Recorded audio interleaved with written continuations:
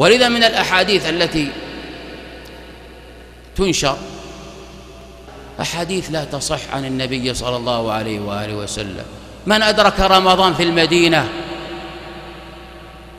كان له كألف رمضان. من أدرك رمضان بمكة فله مئة ألف من رمضان. ومن قام منه وصام كان له كعتق مئة رقبة في كل ليلة وفي كل يوم مئة رقبة.